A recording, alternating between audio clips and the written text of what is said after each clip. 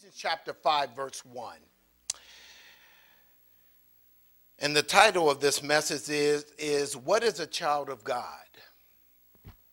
What is a child of God? Now, many people believe that they are a child of God because they come into a church building and sit in a seat. And you think you're a child of God. Or many of you have said, well, we're all God's children. No, we're not. I'm, I, i am sorry to tell you, maybe I'm the first one to inform you. We're not all God's children, we're all God's creation. But you're only a child of God through faith in Jesus Christ. John 1:12 says, For as many as received him, to them he gave the right, power, authority to become children of God, even to them who believe on his name. So you're only a child of God by faith in Jesus Christ. We're all his creation, but we're not all his children. The amazing thing about children is that they imitate their parents the good, bad, and the ugly. And why is it that they always want to imitate the ugly part of us? But they imitate children. So here it is, we're, we're told to be imitators of God as dear children. Well, the Greek word for imitate is mimetis, is where we get mimic from. So we're to mimic God as dear children, as beloved children. But what does that look like? What, what, what does it look like to mimic God? What does that mean? Practically looking at it, you know, if you have repented of your sins and accepted Christ as your Lord and Savior, you're a child of God. And so you're to imitate God. What does that mean? What does that look like? How is it that we who are uh, finite beings can imitate an infinite God. So, what is it? In what ways can we imitate God? Oh, I believe the very first verse gives us a hint into what that looks like. It says, therefore. Therefore is a word that always takes us back to what was previously said. That means that takes us back into chapter 4 to get the context, we have to look at verse 25. Look what it says there. Therefore. Oh, now that takes us further back. In verses 17 to 24, in those particular verses, the Apostle Paul is telling us that we are to put off those things associated with our old man and put on the new man which was created in Christ Jesus. And remember, we're born again. If we're born again, then there's a new man that we're told to put on.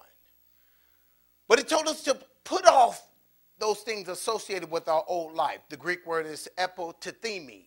It's an amazing word. It means to take off, to put away, to lay aside. It's the same Greek word that's used in, in, in, in, Hebrews 12, verses 1 and 2, when it says, lay aside every weight and sin, lay aside is epotithemi. Same Greek word it gives the connotation of taking off dirty clothes too. Where at the end of the day, you're going to take off these dirty, well, at least I hope you are. You, uh, you're going to take off these dirty clothes and you're going to discard them. You're going to put them in the washing machine, put them in the hamper. You're going to discard them. So there are some things associated with our old life that we're called to discard, that we're called to put off. If we're going to be imitators of God as dear children, there are some things we must put off. And I believe it tells us there, that's where it starts in verse 25. Notice it says, therefore, putting away lying. Notice putting away epotithemi. It's the same Greek word. Put away lying. Notice what's first on the list is lying. Put away lying, let each one of you speak truth with his neighbor, for we are members of one another. So we're told to put away lying. That's first on the list. Lying. The Bible says in Psalm 58, verse 3, that the wicked come forth out of the womb speaking lies. That little cute little baby or grandbaby, you looking in their face. They're little liars. That's what they are. They're little liars. You ask little Johnny, Johnny, did you eat those cookies? No, I didn't eat those cookies. Crumbs, crumbs all down his mouth. They're little liars. They come forth speaking lies. We come forth out of the womb speaking lies. So this is why lying is first on the list because God is truth. And therefore, the first thing we must put off is lying. You know, have you noticed how, how easy a lie can just, it just come right on out just like, it's, like it was supposed to come out. And this is why we must put it away. But he tells us why we should put it away, for we're members of one another. I mean, we're, we're part of the body of Christ. So what happens is when you come in here and we say, hey, good to see you. How are you doing? You're like, everything's fine. And everything's not fine. You lied to us. So that means you leave here discouraged. You leave here depressed. You leave here without getting prayer. You leave here the same way you came in because you lied to us. Had you told the truth and said that the sky is falling, I need some prayer, I'm bummed out, I'm discouraged, then we could have prayed for you. We could have lifted you up and counseled you and spent time just encouraging you in the things of God, but you lied to us. Therefore, you left out of here the same way you came in. This is why we are told to put away lying. You're like, well, you know, don't you go there telling, telling them folks our business. Let me tell you something, man. Let me let you, man, let me let you in on something. Your business is already out there. She told her sister, her mama, her women's prayer group. I need you to be, you ladies to be praying about something. Your business is already out there, dude. So we're told to speak truth. And that means we have to put away epithemi. We have to put away lying. In order for us to be imitators of God, we got to put away lying. Why should we put away lying? Because we're told to be imitators of God as dear children. And when we lie, we're now imitating Satan, who is the father of lies. John 8 44. Can you imagine that? Here we are supposed to be imitators of God as dear children, we're imitating Satan. That blows me away how easy the switch can happen. It reminds me of Peter. You remember Peter? Oh, Pete, Jesus said he's going to the cross. And first, you know, he says, you know, Jesus told Peter, flesh and blood didn't reveal that to you. He said, You're the Christ, the Son of the living God. And Jesus said, Flesh and blood didn't reveal that to you, but my Father which is in heaven. And I'm sure old Pete, Pete was like, hey, guys, did y'all hear that? the Father spoke through me. And then he says, I'm going to the cross. And then old Pete said, Stand back, guys, I got, I got this. Far be it from you, Lord. And Jesus said, Get behind me, Satan. The switch can happen so quickly that one minute we can be speaking truth, and the next minute we're speaking lies. We're speaking for Satan. This is why we're told the first on the list is to put away lying. And then he says in verse 26, he says, Be angry and do not sin. Do not let the sun go down on your wrath. Be angry and do not sin. Don't let the sun go down. So it's something about anger and time. Something needs to happen. As soon as we sense anger has entered our heart, something starts to happen. The, the watch starts ticking. This is why I've always told couples never, ever go to bed angry. Because something happens. You know what happens? Verse 27 Nor give place to the devil. When you allow the sun to go down on your anger, you give Satan place.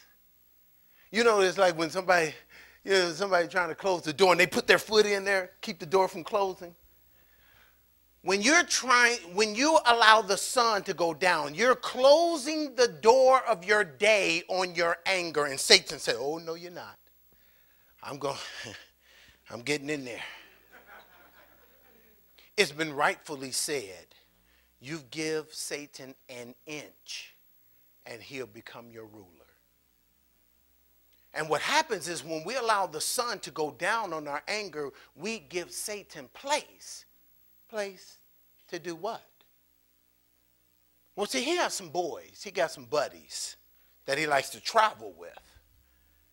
And he likes to bring his boy bitterness. See, here's the thing. When the Bible says, nor give place to the devil, you know that Greek word is diablos? It's where we get slanderer from.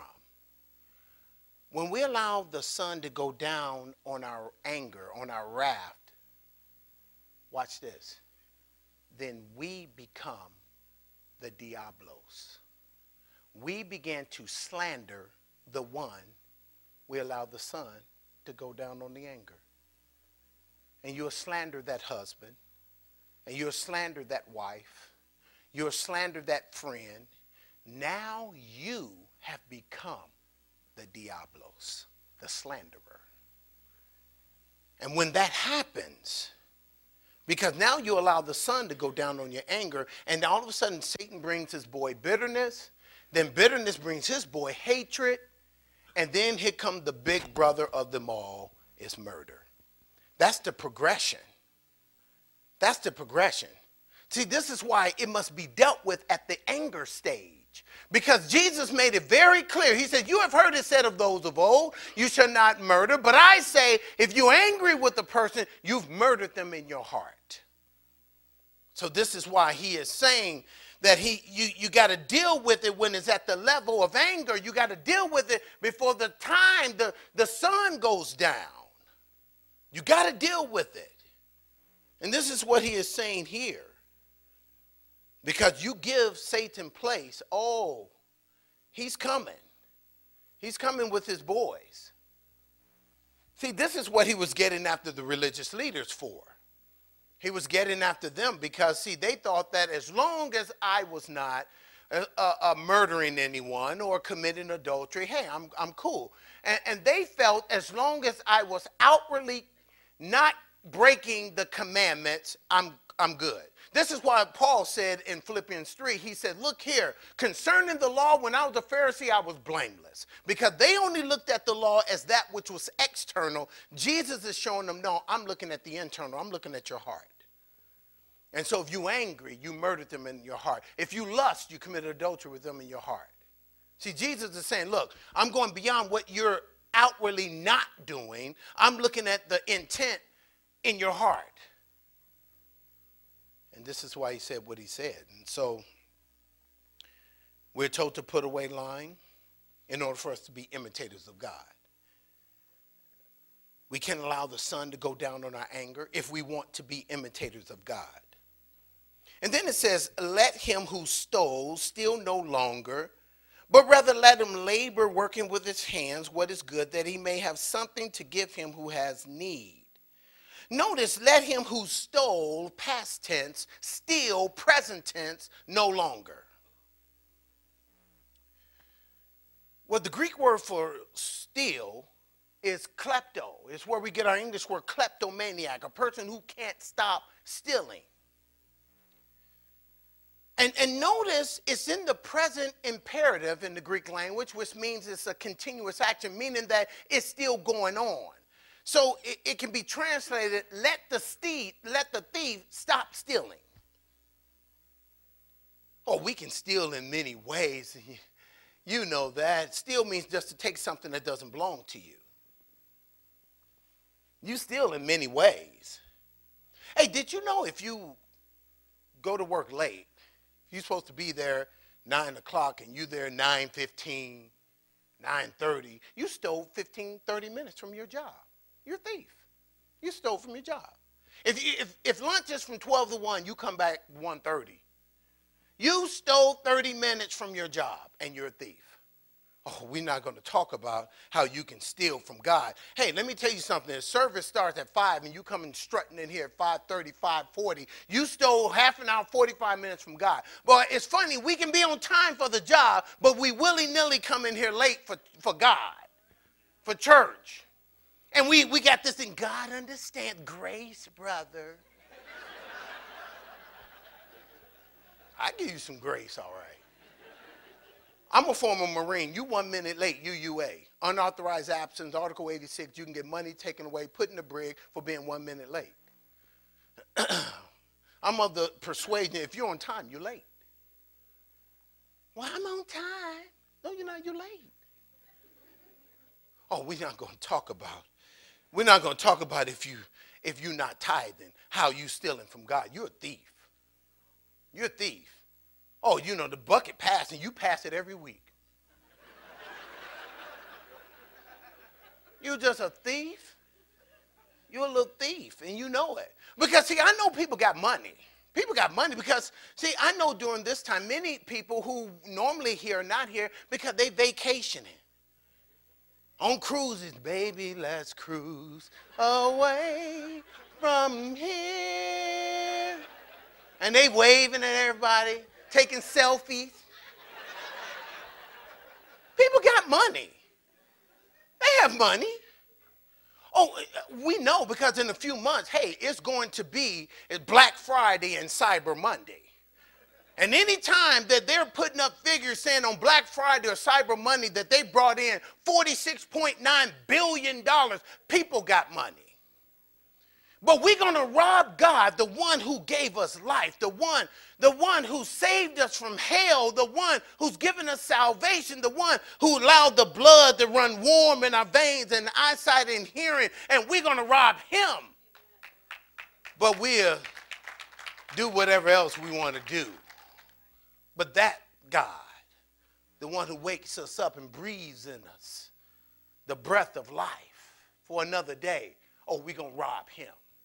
And we're going to say, well, he understands. We respect the IRS more than we respect God. Let some IRS letter come in the mail and we,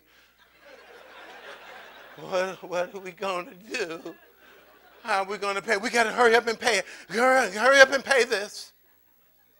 Then we come in here and say, oh, God understands. Really? But we'll rob God and it's okay. Mm.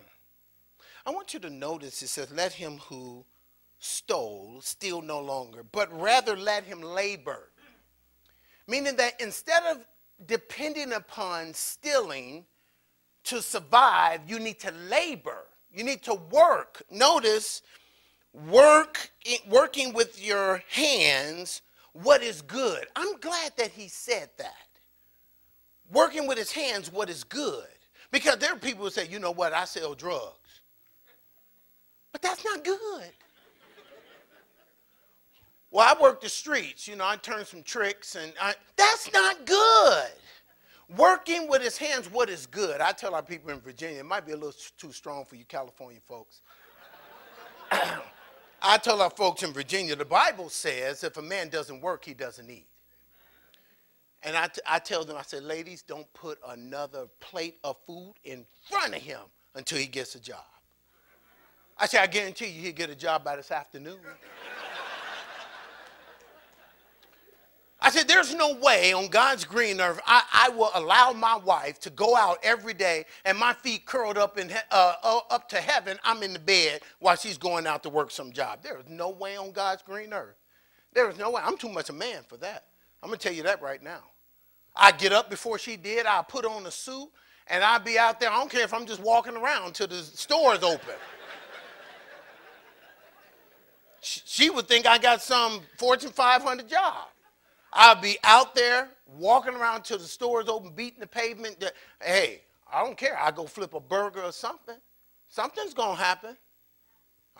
I'm just too. I'm just too much man for that. I can't allow that to happen.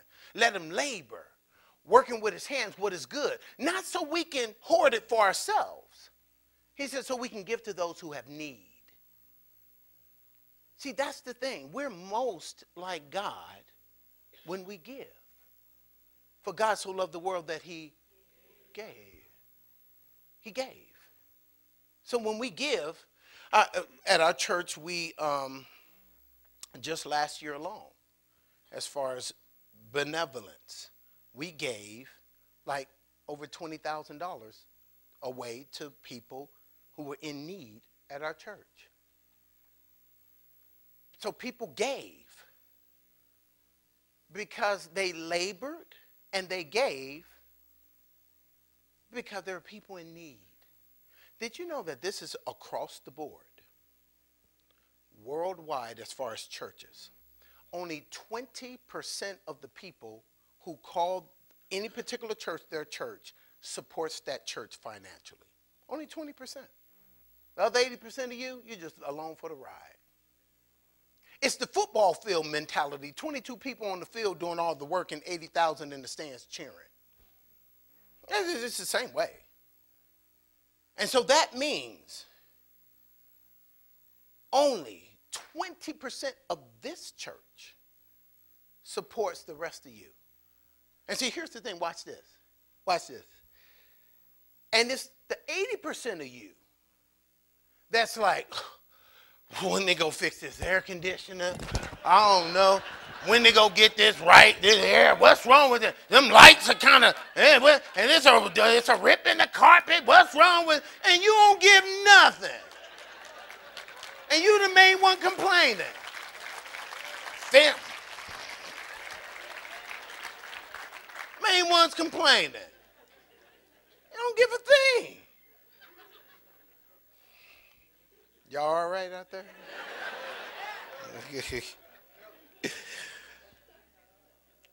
but then he says, because in order for us to be imitators of God, we got we have to put away stealing. Then it says, Let no corrupt word proceed out of your mouth, but what is good for necessary edification, that it may impart grace to the hearers. Notice, let no corrupt word. That word corrupt in the Greek is a word that means that which is corrupt, which is stained or spoiled or rotten.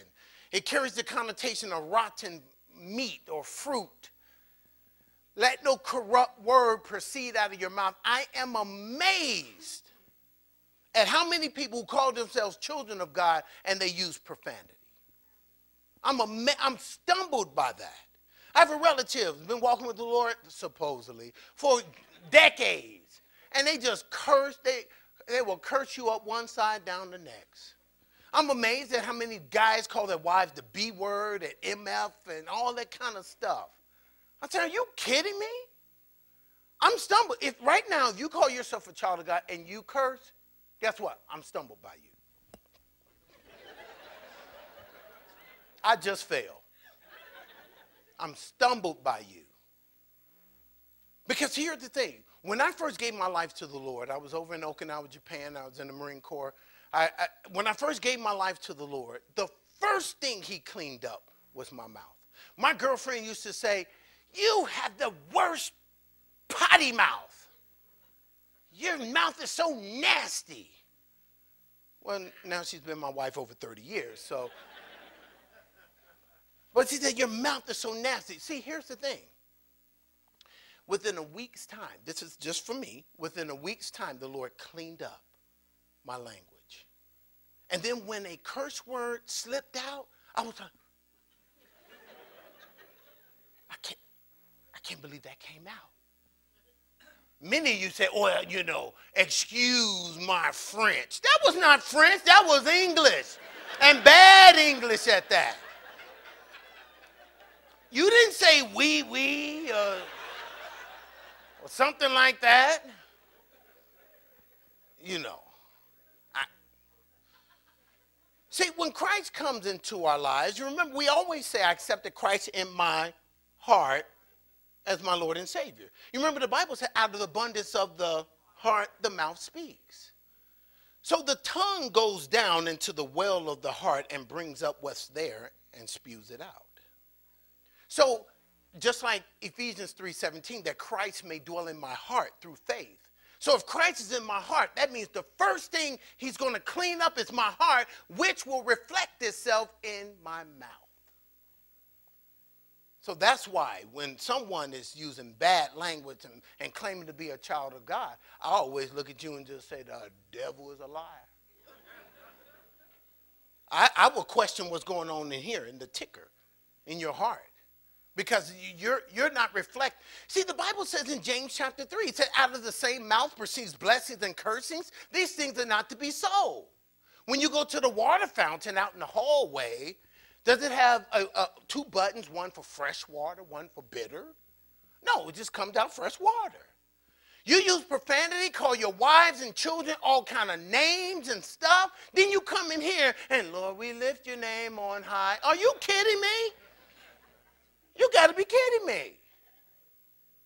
That's why the Bible said, out of the same mouth proceeds blessings and cursing. These things are not to be so.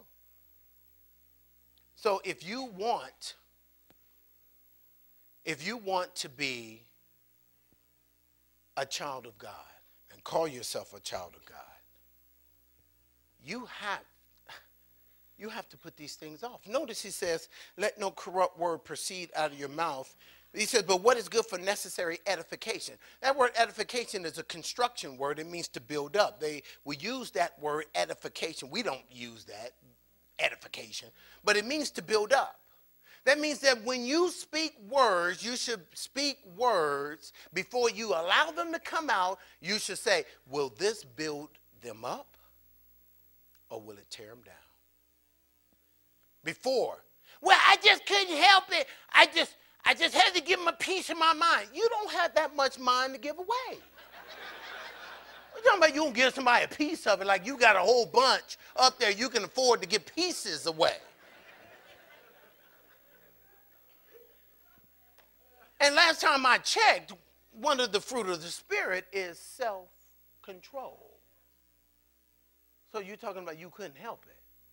Then I'm going to question your salvation. I'm going to question whether the Lord and the Holy Spirit is in you because the Holy Spirit produces self control. So it says, What is good for necessary edification? Watch this, that he may impart grace. God's unmerited, undeserved kindness, that it may impart grace to the hearers. That when people hear the words coming out of your mouth, they're gracious words that are coming out of your mouth. The Bible says that when the people heard Jesus, they heard the gracious words as they're out there in the world and your guys are out there, you're out there and you hear profane words, you hear dirty words, you hear condescending words, belittling words. You're hearing all these words, but when people hear us speak, they should hear gracious words coming out of our mouths. The way we talk should be so different that people are like, What is it about you? It's something about you that whenever you talk, I'm just on the edge of my seat. Because they recognize the gracious words. Colossians 4 6 says, Let your speech always be with grace, seasoned with salt, that you may know how to answer each person. So, in order to be imitators of God, we cannot allow corrupt words to proceed out of our mouths. Then it says, look at there what it says in verse 30. It says, And do not grieve the Holy Spirit of God by whom you were sealed for the day of redemption. Do not grieve the Holy Spirit. The Greek word is lupeo. I know I was just told this afternoon that that sounds like a, uh, you know, a, a, Hispanic name. Uh, I didn't say Lupio or Lupi or, you know. Now, it's, it's lupeo. It, it means to cause pain to. So that's what it means. So what happens is when we accept Christ as our Lord and Savior, we repent of our sin, accept Christ as our Lord and Savior, the Holy Spirit comes and lives within us.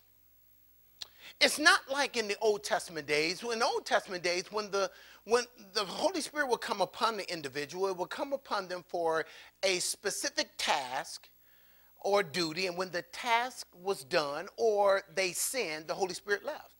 This is why David said in Psalm 51 Take not thy Holy Spirit from me. But in the New Testament, the Holy Spirit comes and lives within us for how long? It says to the day of redemption. The day of redemption is the day that our redemption is complete when we get to heaven. So the Holy Spirit is in us to empower us for the work he has for us, but to also empower us to live for him, to empower us to witness for him. And when we sin, or when the task, and the task is never done, the Holy Spirit stays. And instead of saying, deuces, I'm out of here, the Holy Spirit is grieved.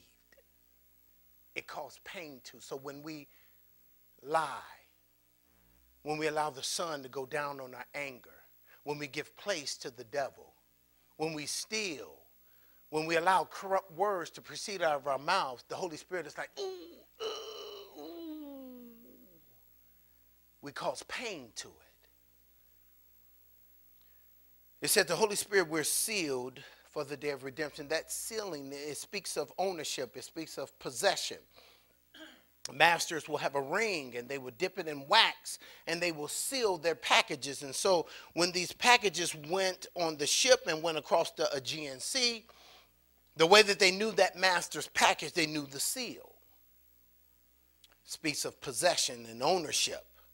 And so we repent of our sin and accept Christ, we're sealed. The Holy Spirit seals us. But we can grieve the Spirit. Grieve the Spirit, cause pain to the Spirit of God. And in order for us to be imitators of God, we have to put grieving the Spirit away. Look what he says there in verse 31. Let all bitterness, wrath, anger, clamor, and evil speaking be put away from you with all malice. I want you to notice, notice what it says. Let all bitterness. Why, why was there a need to say let all bitterness? Because there is some bitterness you're holding on to that you feel that you're justified in holding on to that bitterness. Bitterness is when the sun has gone down on your anger. That's bitterness. And therefore, you feel that you're justified. You don't know. I'm angry. You don't know what he's done to me. He cheated on me. My family, you know, my dad left the family, left my mother, and I'm angry. I'm bitter towards him. He was my partner, and he ripped me off. And you feel that that's justified bitterness. Oh, the, the Bible doesn't give us room. If you want to be imitators of God as dear children, then you got to let all bitterness, not just some, not just the ones you think is okay to let go. No, let all bitterness. Well, you don't know what they've done from, to me. Let all bitterness. She left me for my best friend. Let all bitterness. They fired me and I gave 20 years to that company. Let all bitterness. Not some. Not the little ones. You say, oh, I can let that go. No, let all bitterness. Then it says, let all bitterness, wrath. Wrath is the explosion of anger. Let all bitterness, wrath, anger, clamor. You know what clamor is? Clamor is loud quarreling. You know what you did on the way here? Slow down. You leave me alone, you backseat driver. I can't stand you. I hate you. That's clamor. Loud quarreling. The Bible says we're to put that away too. Notice an evil speaking. That Greek word is where we get our English word blasphemy from. It, to, it, it means to blaspheme someone, it means to harm someone's reputation. You're speaking evil of them for the purpose of harming their reputation. Maybe you're hearing your boss and there was some terrible employee. And all of a sudden they left to take another job and left you hanging, didn't give the two weeks notice, left you hanging, and you just ticked. So all of a sudden the new job call you up. Well, we got so and so put in an application here. What do you think of them? Oh, How about take a seat? Sit down. Let me tell you about that's that's evil speaking.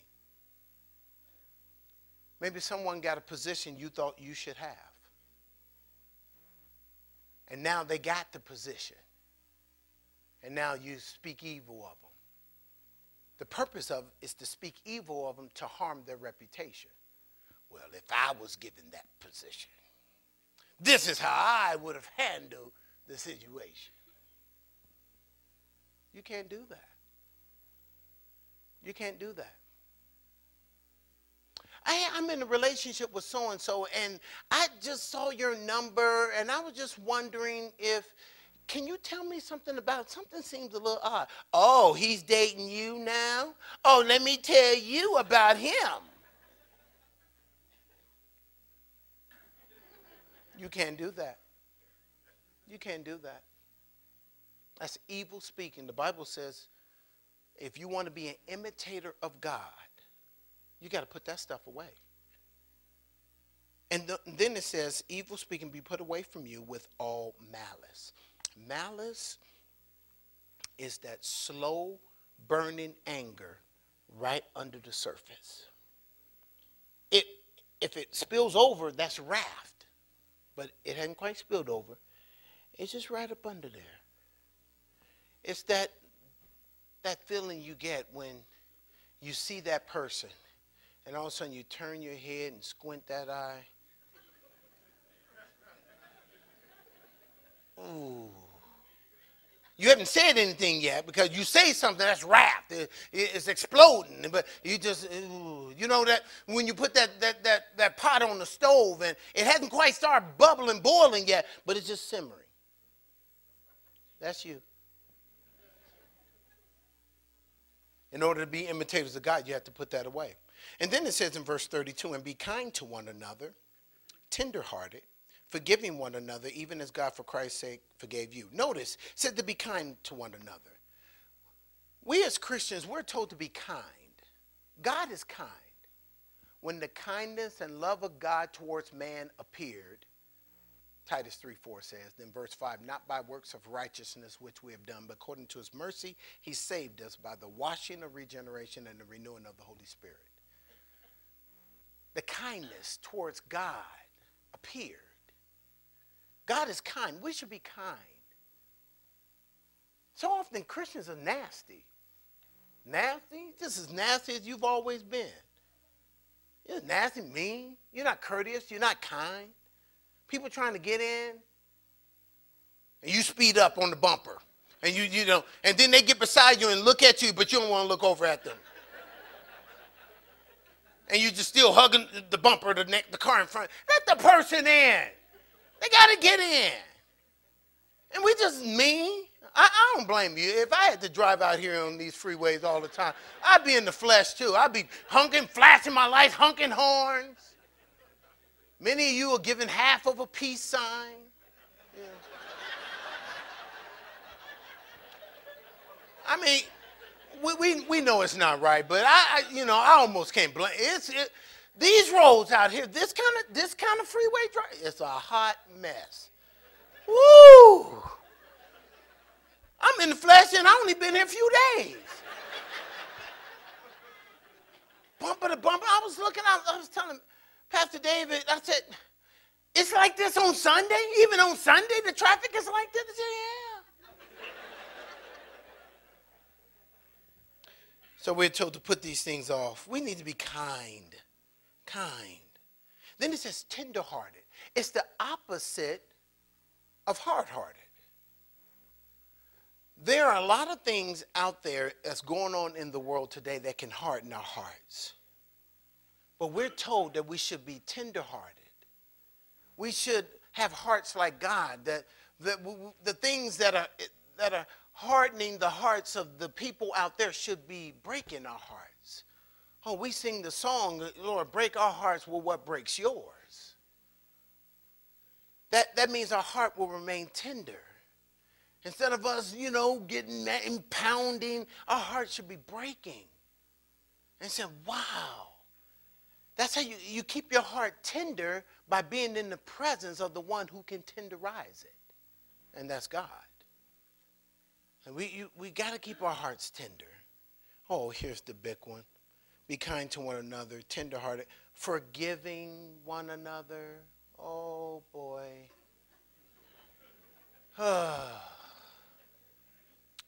what, what I love about this is God doesn't leave us room to forgive in the way that we think we should forgive. Your way of forgiving is I will forgive you, but I won't forget. And you dangle it over their head every chance you get. Honey, what are you talking about? I haven't done that. Oh, yes, you did. You did it two weeks ago, and it was on a Sunday, and you were wearing blue.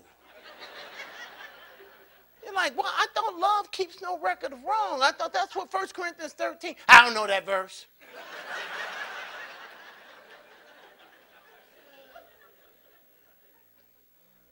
Like, what's up with that?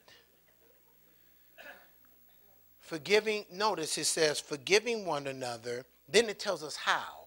Even as God in Christ forgave you. That's how you would forgive.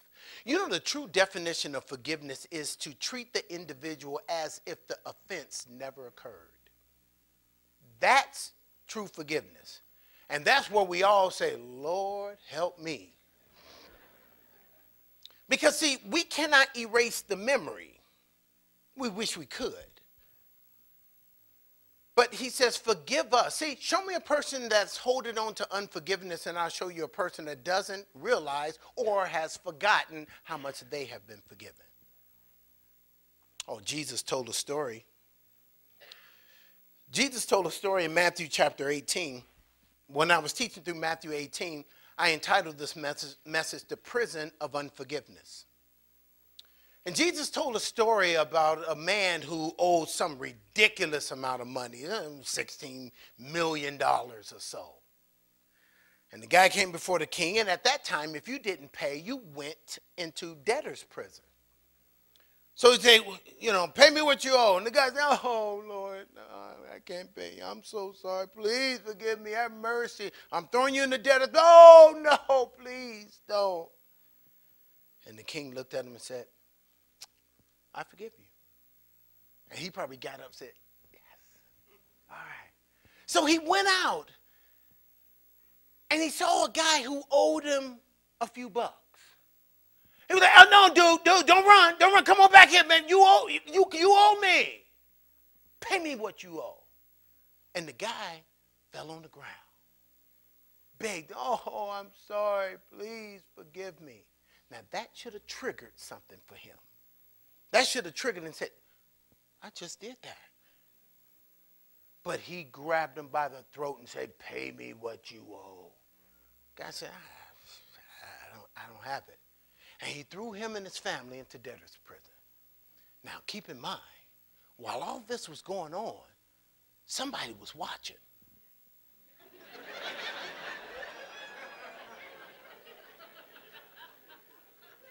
and they went back and told the king.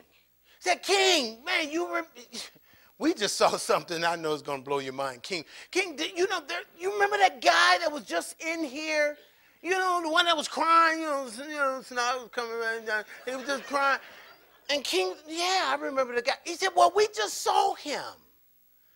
He, we just saw him grab this guy who owed him a few dollars. And I'm sure the king probably said, and he forgave him, right? He said, no, king. You should have seen him. He grabbed him by the throat and threw him into prison.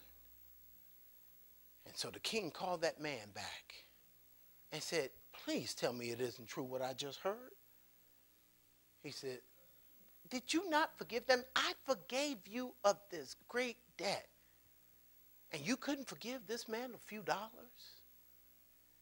And the king said, Deliver him to the torturers. And then Jesus said, Jesus, Jesus. And so too my heavenly Father would do to each of you if each of you from his heart would not forgive his fellow man. And there are many of you who are in the prison of unforgiveness. You're tortured by the unforgiveness. See, you think in holding on to the unforgiveness that is going to somehow hurt the one you holding the unforgiveness towards, and it doesn't even touch them. That makes you even angrier. That ticks you off even more because you want them to hurt like you're hurting, and they're going on with their life. There was a guy who used to attend our church, and he moved away, chasing after his wife.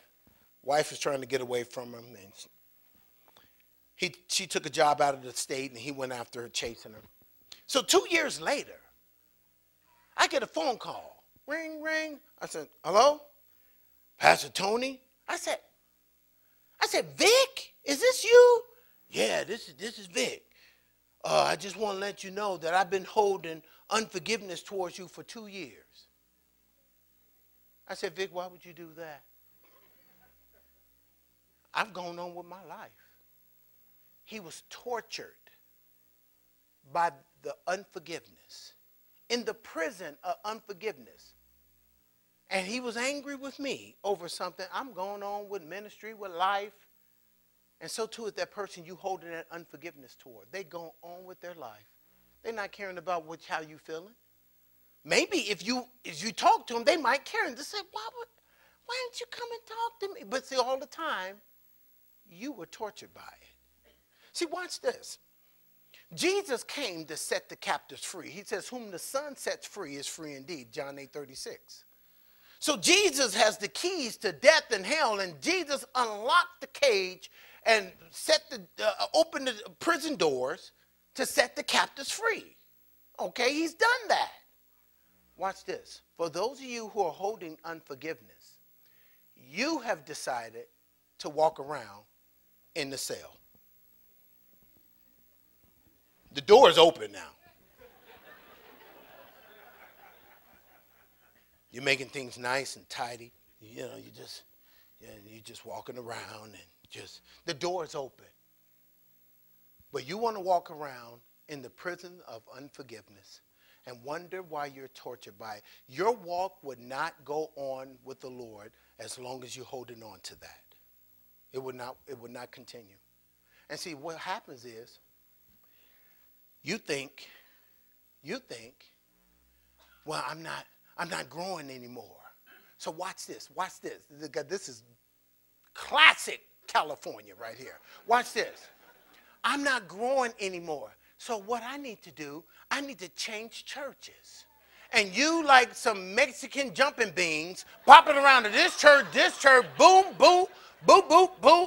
I'm over here, boo boo, boo boo. And I always tell folks in Virginia, wherever you go, there you are. You the problem. It's not the church. It's you. I tell folks all the time, look in the mirror. It's not the church. You know you're getting fed the word of God. The word of God is going forth here. So it's not here. It's you. It's 9 out of 10. You're holding on to unforgiveness. You're holding on to all that kind of stuff. And you're going to blame it on the church. So let me bounce over here. And then you're going to get over there and you go, oh, no, no, that's not it. Let me bounce over here. And you're going to be boom, da boom, da boom, boom, boom. That's so typical California out here. typical. You want to bounce from our church? Yeah, you bounce. You ain't ain't gonna go to another Calvary Chapel. I can tell you that, unless you're gonna drive some serious miles. Out here, there'd be ten Calvary Chapels in a five mile radius. You kidding me? Some mess. Everybody's called to pastor. Oh, I'm called to be a pastor. Where? Southern California. I bet you are. You can open up a garage door and put a Calvary Chapel and have an instant congregation. It's so California. But it's because you're holding on to the unforgiveness. My wife already told me my time is up. So, so it says, Be kind to one another, tenderhearted, forgiving one another, even as God in Christ forgave you. And this is why it says in chapter 5, verse 1, Therefore, be imitators of God as dear children. You remember I said we're most like God when we give? Well, we're really most like God when we forgive. And that's what we need to see.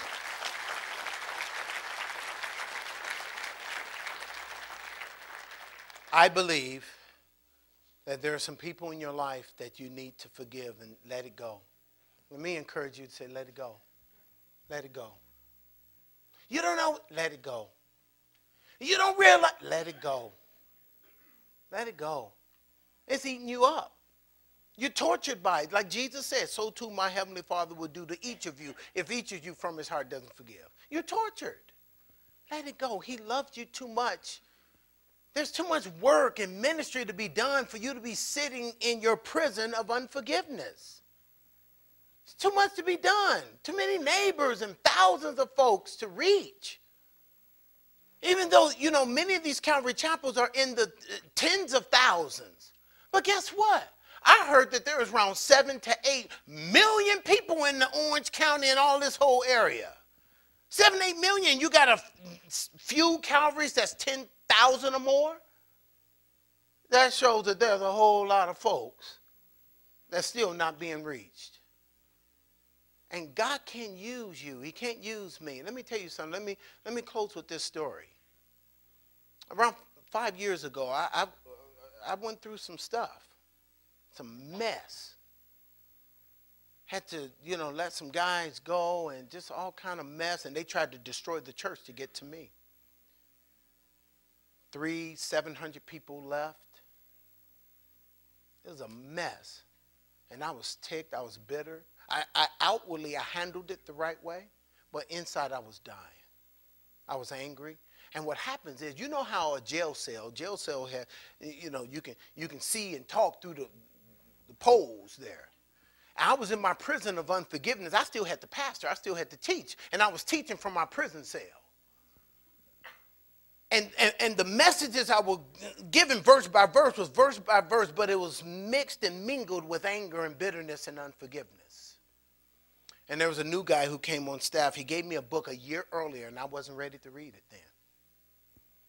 But finally, a year later, I read the book. And the intro, the intro, I didn't say the book, the intro rocked my world so hard. I had to put that book down and just look at it and say, whoa, what did I just read? And I went on and read the book, Set Me Free. The book is Total Forgiveness by R.T. Kendall. Total Forgiveness by R.T. Kendall. Total Forgiveness by R.T. Kendall. You know why I said it three times? Because I know there's somebody going to say, What's the name of that book? I'm not saying it anymore. I'm done. If you didn't get it, you didn't get it. Ask your neighbor. Maybe they got it. I, you know, I'm not saying it anymore. Pastor, wasn't it? No. I said it three times up there. No. I went one more than the Lord did. The Lord to do it, you know, twice. Abraham, Abraham, Saul, Saul, Samuel, Samuel, Martha, Martha. He gave it to you twice. I gave it three. Father, Son, Holy Spirit. I gave you three. I was trying to be spiritual. So don't ask me what that book is. But that book changed my world, rocked my world. And I was able to forgive. I was able to let go. I was able to forgive to the point where I went to restore the relationships with all those guys. And to this day, relationships have been restored. Because I could not pastor effectively holding unforgiveness. If I want to be an imitator of God as dear children, I, I had to forgive. And I was able to do it because of that. Let me wrap it up with this. In order for us to be imitators of God as dear children, we're told we have to put off lying. Let each one of you speak truth with his neighbor, for we are members of one another. And then this tells us we'll put away anger. Be angry and sin not. Don't let the sun go down on your anger. Number three, nor give place to the devil. We've got to put that off. Then number four, let him who stole steal no longer, but let him labor, working with his hands, that he may give those who have need. Then we're told in verse 29, he says, Let no corrupt word proceed out of your mouth, but what is good for necessary edification, they may minister grace to the hearers. We got to put that mess off. And then it says, be, you know, do not grieve the Holy Spirit of God in verse 30, by whom you're sealed to the day of redemption. And then it says, let all bitterness and anger and wrath and evil speaking be put away from you with all malice. And then tells us in verse 32 be kind to one another, tenderhearted, forgiving one another, even as God, for Christ's sake, has forgiven you. And then it says, therefore, be imitators of God as dear children. May we imitate God as dear children. And if we're going to be imitators of God, it means more than coming and sitting in a seat in church. It means putting off some things associated with our old life. And all those things is what we used to do.